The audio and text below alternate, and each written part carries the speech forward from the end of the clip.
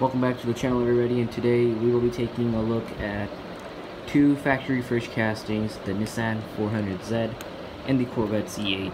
Now, both, of the, both of these cars were released in the same year, same uh, series, factory fresh, and we're gonna com not compare them exactly, we're just gonna uh, showcase them and, and you guys will be picking the one which is the best.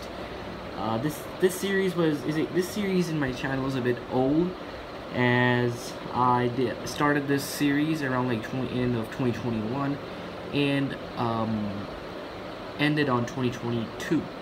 Now I did say that this series will return most you know it will return possibly like around 2023 but it never did. So I decided to like return the series because I was pretty much bringing it about um, review, uh, you know, video ideas. So without further further ado, let's take a look at the both of the cars. The first one is a Nissan 400Z, of course. Now this is the prototype version. I'll also say my uh, takes on these both of these cars between the both of these cars over here.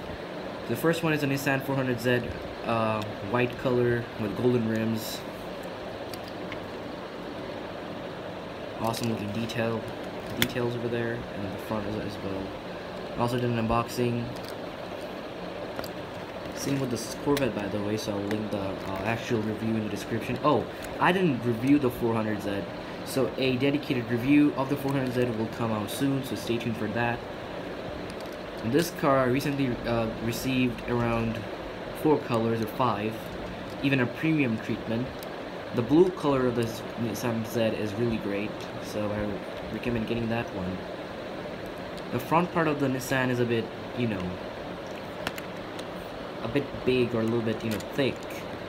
The car itself is a bit thick as well. I mean, I didn't really expect this to be, you know, this much thick. Like, it's a bit wide. To be precise. PR5's over there. Awesome.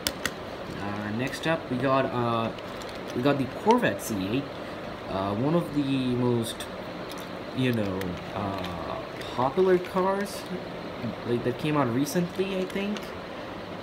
Like everyone talks about the C8 a lot. It's a really great car. Still, I like it. I like the racing model especially. So here we go. The front over here looks really nice. There's the side.